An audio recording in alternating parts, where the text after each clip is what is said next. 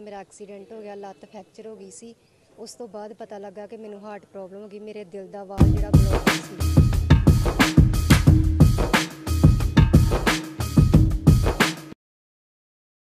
ਮੇਰਾ ਨਾਮ ਸੁਮਨ ਆ। ਮੇਜਰ ਮਸੀਹ। ਅਸੀਂ ਗੁਰਦਾਸਪੁਰ ਦੇ ਰਹਿਣ ਵਾਲੇ ਆ।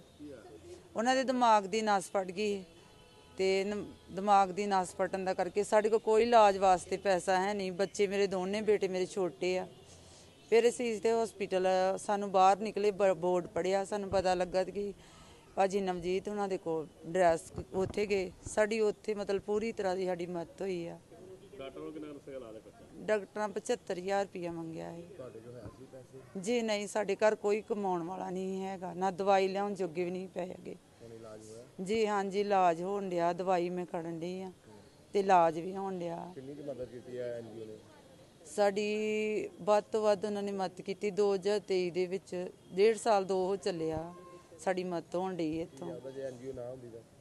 ਫਿਰ ਸਾਡਾ ਮੁਸ਼ਕਲ ਹੀ ਮੇਰੇ ਹਸਬੰਡ ਦਾ ਵੀ ਕੋਈ ਬਚਾ ਨਹੀਂ ਹੈਗਾ। ਮੇਰਾ ਨਾਮ ਕਵਲਜੀਤ ਕੌਰ ਹੈ ਮੇਰੇ ਹਸਬੰਡ ਦਾ ਨਾਮ ਸਰਬਜੀਤ ਸਿੰਘ ਹੈ ਮੇਰਾ ਪਿੰਡ ਜਹਾਂਗੀਰ ਹੈ। ਮੈਨੂੰ ਹਾਰਟ ਪ੍ਰੋਬਲਮ ਸੀ। 5-6 ਸਾਲ ਪਹਿਲਾਂ ਮੇਰਾ ਐਕਸੀਡੈਂਟ ਹੋ ਗਿਆ ਲੱਤ ਫ੍ਰੈਕਚਰ ਹੋ ਗਈ ਸੀ। ਉਸ ਤੋਂ ਬਾਅਦ ਪਤਾ ਲੱਗਾ ਕਿ ਮੈਨੂੰ ਹਾਰਟ ਪ੍ਰੋਬਲਮ ਹੋ ਗਈ ਮੇਰੇ ਦਿਲ ਦਾ ਵਾਲ ਜਿਹੜਾ ਬਲੌਕ ਸੀ ਬਹੁਤ ਸਾਰਾ 6 ਸਾਲ ਟਰੀਟਮੈਂਟ ਕਰਵਾਇਆ ਹਸਪੀਟਲਾਂ ਵਿੱਚ ਜਾ ਕੇ। ਜਦੋਂ ਵੀ ਦਵਾਈ ਲੈਂਦੇ ਸੀ ਤਾਂ ਉਹਨਾਂ ਨੇ ਇਹੀ ਕਹਿਣਾ ਕਿ ਤੇਰਾ ਇਲਾਜ ਦਵਾਈ ਨਾਲ ਨਹੀਂ ਹੋਣ ਵਾਲਾ। ਤੁਸੀਂ ਆਪਣਾ ਆਪਰੇਟ ਕਰਵਾਓਗੇ ਤੇ ਫਿਰ ਹੀ ਤੁਸੀਂ ਠੀਕ ਹੋ ਸਕਦੇ ਹੋ। ਸਾਡੇ ਕੋਲ ਆਪਰੇਟ ਕਰਵਾਉਣ ਲਈ ਇੰਨੇ ਪੈਸੇ ਨਹੀਂ ਸਨ। ਘਰ ਦੀ ਕੰਡੀਸ਼ਨ ਬਹੁਤ ਮਾੜੀ ਸੀ। ਮੇਰੇ ਹਸਬੰਡ ਮਿਹਨਤ ਮਜ਼ਦੂਰੀ ਕਰਦੇ ਨੇ, ਮੇਰੇ ਬੱਚੇ ਛੋਟੇ ਨੇ। ਤੇ ਜਦੋਂ ਸਾਨੂੰ ਵੀਰ ਜੀ ਦੇ ਬਾਰੇ ਪਤਾ ਲੱਗਾ ਤਾਂ ਅਸੀਂ ਉਹਨਾਂ ਨਾਲ ਫੋਨ ਤੇ ਗੱਲ ਕੀਤੀ। ਉਹਨਾਂ ਨੇ ਸਾਨੂੰ ਹਸਪੀਟਲ ਬੁਲਾ ਲਿਆ। ਜਦੋਂ ਅਸੀਂ ਹਸਪੀਟਲ ਪਹੁੰਚੇ ਤਾਂ ਉਹਨਾਂ ਨੇ ਡਾਕਟਰ ਸਾਹਿਬ ਨਾਲ ਗੱਲ ਕਰਵਾ ਦਿੱਤੀ ਤਾਂ ਸਾਨੂੰ ਹਸਪੀਟਲ ਐਡਮਿਟ ਕਰਵਾ ਦਿੱਤਾ। ਫਿਰ ਜਦੋਂ ਐਡਮਿਟ ਹੋ ਗਏ ਤਾਂ ਆਪਰੇਸ਼ਨ ਤੱਕ ਜਿੰਨਾ ਵੀ ਸਾਡਾ ਇਲਾਜ ਹੋਇਆ ਸਾਰਾ ਮਨਦੀਪ ਵੀਰ ਜੀ ਦੀ ਟੀਮ ਦੇ ਰਾਹੀਂ ਹੋਇਆ। ਹੈ। ਅਸੀਂ ਇਹਨਾਂ ਦਾ ਬਹੁਤ ਬਹੁਤ ਧੰਨਵਾਦ ਕਰਦੇ ਹਾਂ। ਨਾਮ ਸੁਖਦੇਵ ਸਿੰਘ ਜੀ। ਨਾਗੋ ਕਿਹਾ ਜੀ। ਇਹਨਾਂ ਨੂੰ ਇਸ ਤਰ੍ਹਾਂ ਹਾਰਟ ਦਾ ਤਾਂ ਸਾਨੂੰ ਪਤਾ ਨਹੀਂ ਸੀ, ਲੱਕ ਦੀ ਦਰਦ ਦਾ ਹੀ ਜੀ। ਉਹ ਹਾਰਟ ਨਿਕਲ ਆਈ।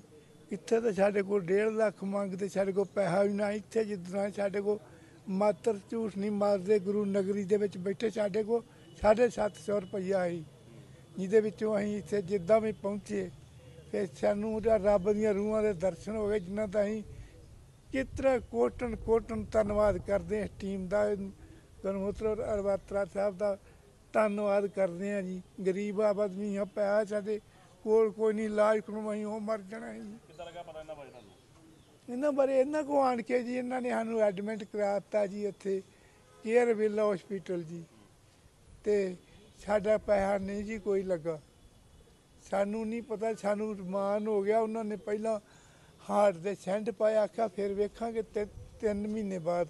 ਫਿਰ ਉਹਨਾਂ ਨੇ ਲੱਕ ਦਾ ਆਪਰੇਸ਼ਨ ਕੀਤਾ ਜੀ ਇਹਦੇ। 32 ਟਾਂਕੇ ਲੱਗੇ ਜਾਨੀ ਕਾਫੀ ਵੱਡਾ। ਜੀ, ਨਵਦੀਪ। ਨਵਦੀਪ, ਇੱਕ ਜ਼ਰੀਆ ਟੀਮ, ਇੱਕ ਛੋਟੀ ਸੰਸਥਾ ਚਲਾਈ ਦੀ ਆਪਾਂ। ਜਿਹੜੀ ਕਿ ਲੁਧਿਆਣੇ ਤੋਂ ਅਨਮੋਲ ਕਵਾਤਰਾ ਜੀ ਨੇ ਆਰਗੇਨਾਈਜ਼ ਕੀਤੀ ਸੀ, ਪਿਛਲੇ 7-8 ਸਾਲਾਂ ਤੋਂ ਸੰਸਥਾ ਚੱਲ ਰਹੀ ਆ। ਅਸੀਂ ਉਹ ਪੀਪਲਾਂ ਦਾ, ਜਿਹੜੇ ਬੰਦਿਆਂ ਦਾ ਇਲਾਜ ਕਰਵਾਈਦਾ ਜਿਹੜੇ ਕਈ ਮੇਰੇ ਹਾਲਾਂ ਕਾਫੀ ਦੇਰ ਤੋਂ ਅਸਮਰਥ ਹੁੰਦੇ ਜੀ ਇਲਾਜ ਕਰਾਉਣ ਤੋਂ ਘਰ ਬੈਠੇ ਸੀ। ਇਦਾਂ ਦੇ ਆਪਣੇ ਕੋਲ ਕਾਫੀ ਮਰੀਜ਼ ਆ ਜਾਂਦੇ ਨੇ, ਜਿਹੜੇ 4-4 5-5 ਸਾਲ ਤੋਂ ਘਰੇ ਪਏ ਜਾਂਦੇ ਨੇ, ਜਿਨ੍ਹਾਂ ਕੋਲ ਪਤਾ ਨਹੀਂ ਹੁੰਦਾ ਕਿ ਇਲਾਜ ਵੀ ਫ੍ਰੀ ਹੋ ਜਾਂਦੇ ਨੇ। ਜਿਨ੍ਹਾਂ ਨੂੰ ਇਲਾਜ ਦੀ ਸਿਰਫ ਇੱਕ ਕਾਈਂਡ ਆਫ ਨੌਲੇਜ ਦੀ ਕਮੀ ਹੁੰਦੀ ਬਸ। ਉਹਨਾਂ ਨੂੰ ਨਹੀਂ ਪਤਾ ਕਿ ਸਾਡੇ ਕੋਲ ਇੱਕ ਆਯੁਸ਼ਮਾਨ ਕਾਰਡ ਨਾਮ ਦੀ ਇੱਕ ਪਾਵਰ ਹੈਗੀ ਆ। ਕਾਰਡ ਦੇ ਉੱਤੇ ਸਾਰੇ ਇਲਾਜ ਵੀ ਫ੍ਰੀ ਹੁੰਦੇ ਸ਼ਾਇਦ ਲੋਕਾਂ ਨੂੰ ਨੌਲੇਜ ਨਹੀਂ ਹੈਗੀ ਭਾਜੀ।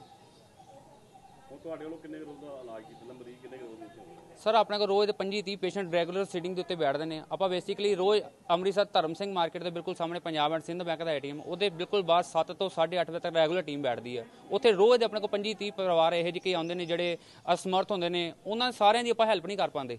ਅਸੀਂ ਖੁਦ ਆਪਣੇ ਹਾਂ ਸਾਰਿਆਂ ਦੀ ਹੈਲਪ ਨਹੀਂ ਕਰ ਪਾਉਂਦੇ ਅਸੀਂ ਕੋਸ਼ਿਸ਼ ਕਰ ਸਕਦੇ ਹਾਂ। ਕੋਸ਼ਿਸ਼ ਵਿੱਚੋਂ ਲਗਭਗ ਜਿਹੜੇ ਜਿਵੇਂ ਕੋਈ ਨੀਡ ਹੀ ਨਹੀਂ ਹੁੰਦਾ ਕੋਈ ਪ੍ਰਾਈਵੇਟ ਹਸਪਤਾਲ ਦਾ ਕੇਸ ਆ ਜਾਂਦਾ ਉਹਨਾਂ ਨੂੰ ਆਪਾਂ ਵਾਪਸ ਭੇਜ ਕੇ ਕਈਆਂ ਨੂੰ ਪ੍ਰਾਈਵੇਟ ਹਸਪਤਾਲ 'ਚ ਇਲਾਜ ਵੀ ਫ੍ਰੀ ਕਰਵਾਉਣ ਦੀ ਕੋਸ਼ਿਸ਼ ਕਰੀਦੀ ਇਹ ਅੰਮ੍ਰਿਤਸਰ ਤੋਂ ਆਉਂਦੇ ਮਰੀਜ਼ ਜਾਂ ਬਾਹਰੋਂ ਵੀ ਆ ਰਹੇ? ਸਰ ਅੱਜ ਵੀ ਆਪਣੇ ਕੋਲ ਜਿਵੇਂ ਪੇਸ਼ੈਂਟ ਬੈਠੇ ਨੇ ਅਗਰ ਆਪਣਾ 30 35 ਪੇਸ਼ੈਂਟ ਹੈਗੇ 30 ਪੈਂਟ ਜਾਂ ਕੋਈ 40 ਕਿਲੋਮੀਟਰ ਦੂਰ ਤੋਂ ਆਇਆ ਕੋਈ ਭਿੱਖੀਵਿੰਡ ਹੋਇਆ ਕੋਈ ਖੇਮਕਰਨ ਆਇਆ ਅਸੀਂ ਸਿਰਫ ਅਹ, ਵੇਖੀਦਾ ਕਿਹੜਾ ਪੇਸ਼ੈਂਟ ਲੋੜਵੰਦ ਆ ਅਸੀਂ ਲੋੜਵੰਦ ਦਾ ਵੇਖੀਦਾ ਪਰਸੋਂ ਇੱਕ ਕੇਸ ਆਇਆ ਸਰ ਤੁਸੀਂ ਵੇਖਣਾ ਹੋਵੇ ਪ੍ਰਸ਼ਾਸਨ ਦੀ ਜ਼ਿੰਮੇਵਾਰੀ ਸੀ ਆ ਤੇ। ਕੋਠੇ ਦੀ ਛੱਤ ਡਿੱਗ ਵੀ ਸਰ। ਛੱਤ ਡਿੱਗੀ ਕਰਕੇ ਇਸ ਟਾਈਮ ਇਲਾਜ ਕਰਾਉਣ ਤੋਂ ਬੇਵਸ ਸੀਗੀ। ਇੱਕ ਜੀਵ ਦੀ ਮੌਕੇ ਤੇ ਮੌਤ ਹੋ ਗਈ ਤੇ ਜਿਹੜਾ ਕਮਾਈ ਦਾ ਸਾਧਨ ਸੀ 4 ਮਹੀਨੇ ਪਹਿਲਾਂ ਉਹਦੀ ਡੈਥ ਹੋ ਗਈ। ਤਿੰਨ ਪੇਸ਼ੈਂਟ ਤਿੰਨੇ ਇਸ ਟਾਈਮ ਦਾ ਹਸਪਤਾਲ ਪਏ ਨੇ। ਸਰਕਾਰ ਨੂੰ ਉਹਨੇ ਜਾ- ਜੋ ਇਹ ਫੋਨ ਕੀਤਾ ਪ੍ਰਸ਼ਾਸਨ ਦਾ ਕੋਈ ਅਧਿਕਾਰੀ ਨਹੀਂ ਮੌਕੇ ਤੇ ਪਹੁੰਚਿਆ। ਇਹ ਫਰਜ਼ ਤੇ ਸਰਕਾਰਾਂ ਦਾ ਜਿਹੜੀ ਕੁਦਰਤੀ ਆਫਤਾ ਜਿਹੜੀ ਹੈਗੀ ਆ ਉਹਦਾ ਇਲਾਜ ਕਰਾਉਣਾ ਸਰਕਾਰਾਂ ਦਾ ਫਰਜ਼ ਆ, ਸਾਡੀ ਵਰਗੀ ਸੰਸਥਾਵਾਂ ਆਈ ਤੇ ਕਹਿੰਦੇ ਆਪਣੇ ਘਰਾਂ 'ਚ ਬੈਠੀਏ। ਇਹ ਸਰਕਾਰਾਂ ਦੇ ਮੂੰਹ ਤੇ ਚਪੇੜ ਆ ਇੱਕ ਐਨਜੀਓ ਖੁੱਲਣਾ ਸਰਕਾਰਾਂ ਦੇ ਮੂੰਹ ਤੇ ਚਪੇੜ ਹੀ ਆ। ਜੇ ਸਰਕਾਰਾਂ ਹੀ ਆਪਣੀਆਂ ਜੇ ਆਪਣਾ ਸਾਂਭੀ ਸਰਕਾਰੀ ਸਿਸਟਮ ਸਾਂਭ ਲੈਣ ਤੇ ਸਾਨੂੰ ਇੱਥੇ ਖੜਨ ਦੀ ਲੋੜ ਹੀ ਨਾ ਪਵੇ। ਮੈਨੂੰ ਇਹ ਦੱਸੋ ਜੇ ਤਰ੍ਹਾਂ ਕੋਈ ਵੱਡੇ ਇਲਾਜ ਵਾਸਤੇ ਪ੍ਰਾਈਵੇਟ ਹਸਪੀਟਲ ਦੀ ਲੋੜ ਪੈਂਦੀ ਹੈ, ਤਾਂ ਫਿਰ ਕਿਵੇਂ ਅਰੇਂਜ ਕਰਦੇ ਹੋ ਸਭ ਪ੍ਰਾਈਵੇਟ ਵਾਸਤੇ ਸਰ, ਲੋਕਾਂ ਨੂੰ ਪਤਾ ਹੀ ਨਹੀਂ ਹੈ, ਸਿਰਫ ਆਯੁਸ਼ਮਾਨ, ਤੁਹਾਨੂੰ ਥੋੜੀ ਦੇਰ ਪਹਿਲਾਂ ਦੱਸਿਆ, ਆਯੁਸ਼ਮਾਨ ਕਾਰਡ ਦੀ ਨਾਂ ਦੀ ਪਾਵਰ ਹਰ ਇੱਕ ਕੋ ਆ। ਜਿਹੜਾ ਬੀਪੀਐਲ ਬਿਲੋ ਪ੍ਰਾਪਰਟੀ ਲਾਈਨ ਜਿਹੜਾ ਹੈਗਾ ਵਾ, ਜਿਹੜਾ ਜਿਹਨੂੰ ਵੀ ਕਾਰਡ ਬਣਿਆ, ਉਹਦਾ ਇਲਾਜ ਫ੍ਰੀ ਹੋ ਜਾਂਦਾ, ਹਰ ਚੀਜ਼ ਦਾ ਇਲਾਜ ਫ੍ਰੀ ਹੋ ਜਾਂਦਾ। ਜਸਟ ਦੋ ਚਾਰ ਜਿਹੜੀਆਂ ਹੁੰਦੀਆਂ ਸਕੀਮਾਂ ਜਿਹਦੇ ਤੋਂ ਇਲਾਜ ਨਹੀਂ ਹੁੰਦੇ। ਹੁਣ ਥੋੜੇ ਦਿਨ ਪਹਿਲਾਂ ਇੱਕ ਬੱਚੇ ਦਾ ਕੇਸ ਕਰਾਇਆ, ਸਰ, ਉਹਦੇ ਦਿਲ 'ਚ ਛੇਕ ਸੀਗਾ। ਦਿਲ 'ਚ ਛੇਕ ਕਰਕੇ, ਸਰ, ਉਹਨੂੰ ਪਤਾ ਹੀ ਨਹੀਂ ਆ। 12 ਸਾਲ ਤੱਕ ਬੱਚੇ ਨੂੰ ਪਤਾ ਹੀ ਨਹੀਂ ਲੱਗਾ ਕਿ ਮੇਰੇ ਦਿਲ 'ਚ ਛੇਕ ਆ। ਫੋਰਟਿਸ ਹਸਪਤਾਲ ਚੋਂ ਮੋਹਾਲੀ ਦੇ ਫੋਰਟਿਸ ਹਸਪਤਾਲ ਆ ਉੱਥੋਂ ਇਲਾਜ ਫ੍ਰੀ ਕਰਾ ਕੇ ਦਿੱਤਾ ਸਰ। ਲੋਕਾਂ ਨੂੰ ਸਕੀਮ ਦੀ ਨੌਲੇਜ ਨਹੀਂ ਹੈ। ਇੱਕ ਸਰਕਾਰੀ ਸਕੀਮ ਆਂਦੀ ਆਰਬੀਐਸਕੇ ਰਾਸ਼ਟਰੀ ਬਾਲ ਸਿਹਤ ਕੇਂਦਰ। ਉਹਦੇ ਦੌਰਾਨ ਸਰ 12 13 ਲੱਖ ਰੁਪਏ ਦਾ ਆਪਰੇਸ਼ਨ ਫ੍ਰੀ ਹੋਇਆ ਸਰ। ਪਰ ਜਿਵੇਂ ਕਈ ਪ੍ਰਾਈਵੇਟ ਹਸਪਤਾਲ ਮਨਾ ਕਰ ਦਿੰਦੇ ਨੇ ਕਿ ਇਹ ਆਯੁਸ਼ਮਾਨ ਕਾਰਡ ਨਹੀਂ ਚੱਲਦਾ। ਉਹਨਾਂ ਖਿਲਾਫ ਕੀ ਖੁਦਾ ਕਰਦੇ ਆ ਜੀ ਸਰ ਕਾਰਵਾਈ ਤੇ ਇਹੀ ਸਰਕਾਰਾਂ ਨੇ ਕਰਨੀ ਬੰਦੀ ਆ। ਆਪਾਂ ਤੇ ਸਿਰਫ ਡਾਕਟਰ ਸਾਰੇ ਮਾੜੇ ਨਹੀਂ ਆ। ਕੁਝ ਇਹਦੇ ਵਿੱਚ ਪ੍ਰੋਫੈਸ਼ਨ ਵਿੱਚ ਕੋਈ ਮਾੜੇ ਵੀ ਤੇ ਕੋਈ ਚੰਗੇ ਵੀ ਆ।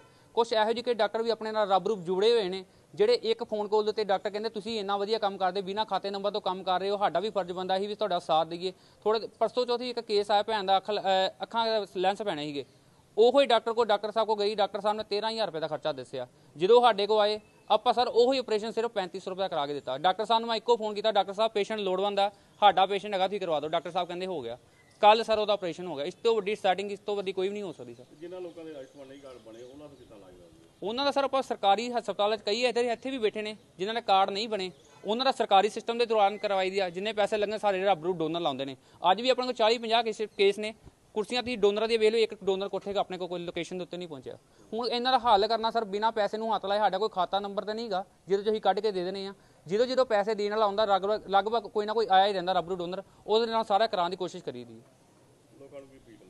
ਜਰੂਰ ਸਾਥ ਦਿਓ ਤੁਸੀਂ ਮਾਣ ਮਹਿਸੂਸ ਕਰੋ ਕਿ ਤੁਹਾਡੇ ਅੰਮ੍ਰਿਤਸਰ ਵਰਗੇ ਸ਼ਹਿਰ 'ਚ ਕੋਈ ਅਜਿਹੀ ਸੰਸਥਾ ਚੱਲ ਰਹੀ ਜਿਹੜੀ ਬਿਨਾਂ ਖਾਤੇ ਨੰਬਰ ਤੋਂ ਬਿਨਾਂ ਪੈਸੇ ਨੂੰ ਹੱਥ ਲਾਏ 365 ਦਿਨ ਰੈਗੂਲਰ ਸੀਟਿੰਗ ਦੇ ਉੱਤੇ ਮਿਲਦੀ ਆ। ਸੰਸਥਾਵਾਂ ਤੇ ਅੰਮ੍ਰਿਤਸਰ 'ਚ ਹਜ਼ਾਰਾਂ ਨਹੀਂ ਲੱਖਾਂ ਹੀ ਹੋਣਗੀਆਂ। ਪਰ ਜਿਹੜੀ ਬਿਨਾਂ ਨਾਗੇ ਡੋਨਰ ਨੂੰ ਪੇਸ਼ੈਂਟ ਨੂੰ ਟਾਈਮ ਦਿੰਦੀ ਆ ਜਰੂਰ ਟਾਈਮ ਦੇਣ ਦੀ ਵਿੱਚ ਤੁਸੀਂ ਵੇਖਿਆ ਕਰੋ ਕਿਹੜਾ ਤੁਹਾਡੇ ਅਹ, ਜਿਹੜੇ ਹਾਲਾਤ ਐਮਐਲਏ ਐਮਪੀ ਨੂੰ ਇਹ ਕੁਐਸਚਨ ਪੁੱਟ ਕਰ ਸਕਦੇ ਆ। ਕਿ ਭਾਜੀ ਆਹੀ ਤੁਸੀਂ ਇਹ ਕੰਮ ਨਹੀਂ ਕੀਤਾ। ਲੋਕੀ ਸਾਨੂੰ ਵੀ ਆ ਕੇ ਕੁਐਸਚਨ ਪੁੱਟ ਕਰਦੇ ਯਾਰ ਤੁਸੀਂ ਇਲਾਜ ਕਿਉਂ ਨਹੀਂ ਕਰਾਇਆ ਯਾਰ? ਜਿਹੜਾ ਕੰਮ ਸਰਕਾਰਾਂ ਦਾ ਵੀਰੇ ਆਪਾਂ ਆਪਣੇ ਵੱਲ ਕੋਸ਼ਿਸ਼ ਕਰ ਰਹੇ ਜਿੰਨਾ ਇਲਾਜ ਹੁੰਦਾ ਕੋਸ਼ਿਸ਼ ਕਰਵਾਉਣ ਦੀ ਕੋਸ਼ਿਸ਼ ਅਹ, ਉਹਨਾਂ ਦਾ ਕੋਸ਼ਿਸ਼ ਕਰੀ ਦੀ ਜਿੰਨਾ ਹੋਏ ਵਧੀਆ।